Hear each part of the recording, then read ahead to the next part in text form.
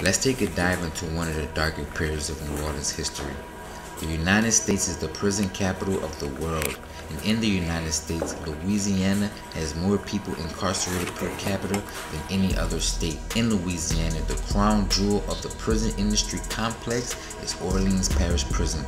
It is one of the most notorious local prison systems in the world. And today we're going to discuss one of the lesser known horror stories from Hurricane Katrina, specifically the local prison and its inmates. This is the story on how 1,000 inmates were left abandoned in the prison buildings with no food, water, or power as Hurricane Katrina ravaged the city.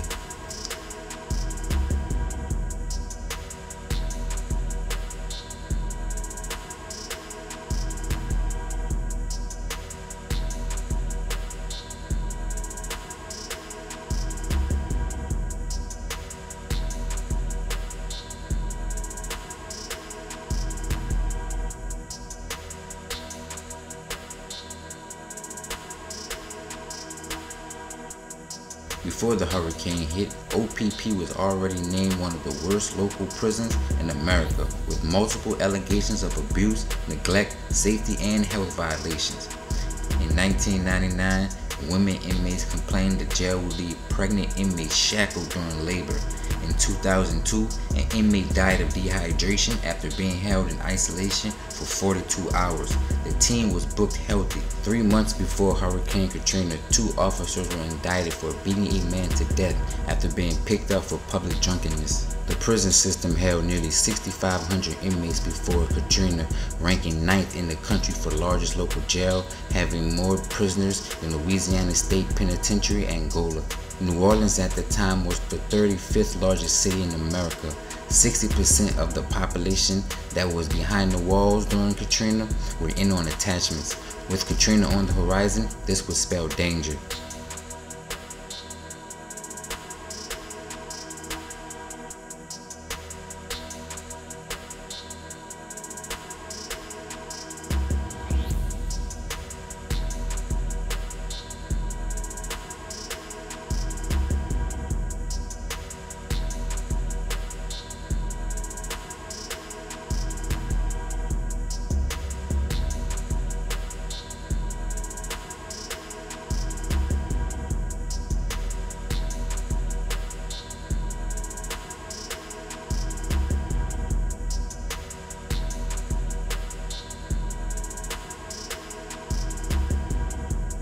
In the days prior to Hurricane Katrina making landfall, Mayor Ray Nagin issued the first ever mandatory evacuation for Orleans Parish. Despite this very serious warning, Sheriff Marlin Gusman accepts 300 more inmates from St. Bernard Parish Jail who were locked in a gym and guards sat watch outside the doors unarmed because guns were not allowed in OPP.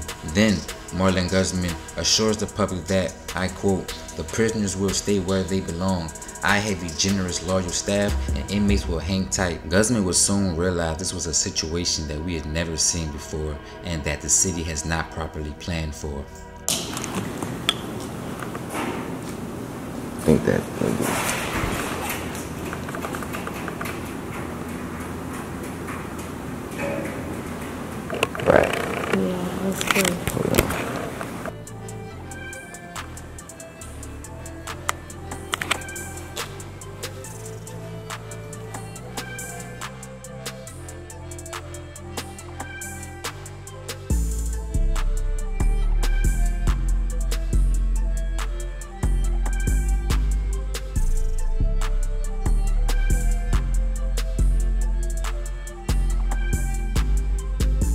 As the storm sets down its destructive path on that Sunday, the generators and OPP go out.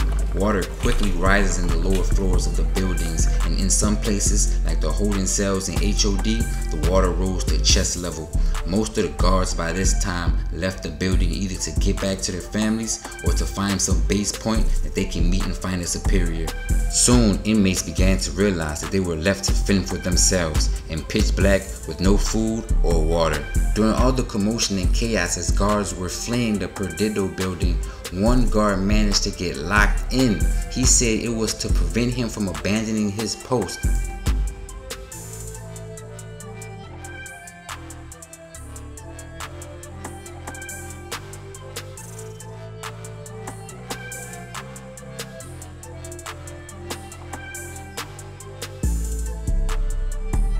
Guard detail seeing inmates realizing the people that were responsible for them has left them and they started to get angry. They started to try to break down the doors and kick down the doors. They started to use their metal beds to break through the cement and break holes through it so they can get free. After retreating behind another security door, the guard is ordered to grab a shotgun and go to the roof to barricade himself in the observatory room and if he sees anybody trying to escape, he is to shoot and kill them. Meanwhile, across the street in the house of detention, inmates who were booked on misdemeanors like public intoxication, tourists who were on Bourbon Street, kids who got caught with weed, and people with unpaid traffic tickets had to kick open the bottom of the cell doors of the holding cells and waded through knee-high toxic water to get free. For four days, inmates were left inside the buildings to fend for themselves with no power, food, or water. Some locked in cells that have flooded to their knees. Interviews done by the ACLU or the American Civil Liberties Union details horrific scenes of chaos, death from the sick and disabled, fear, and violence. One of the more sadder experiences was from a 13-year-old girl in the OPP House of Detention being moved to an adult male holding area where she spent days in water up to her neck until she was eventually saved by other male prisoners who was going around and helping those that were in need in jails.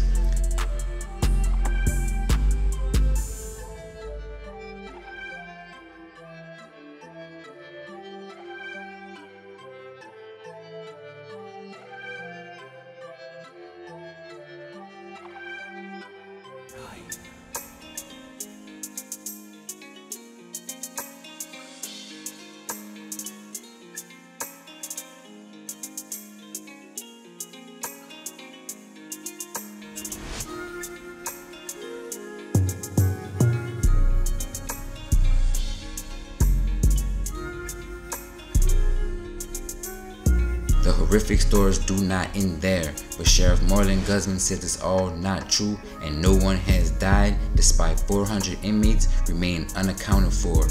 After four days, the prisoners were rescued and were dropped off from the Broad Street overpass. 3,500 inmates were being watched by 200 guards.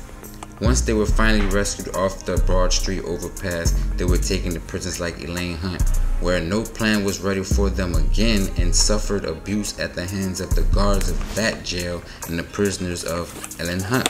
Even though Marlin Gusman admitted that the sheriff's office did not have a plan in place for an event of this magnitude, he still denied any reports of mistreatment and neglect. So the American Civil Liberties Union conducted an investigation against the Orleans Parish Sheriff's Office and interviewed 1,000 inmates and found that they all had similar stories, prompting Southern Poverty Law Center's Katie Schwartzmann to sue OPP on behalf of the inmates in 2012 and one in 2013, starting prison reform in New Orleans.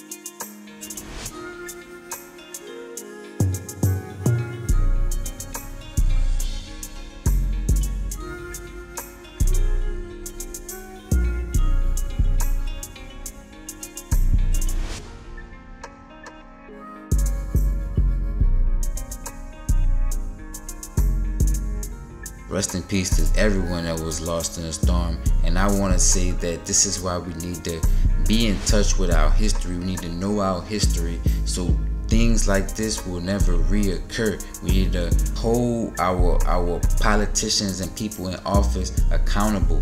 We need to go and vote to make sure people are in positions that will never allow this to happen again.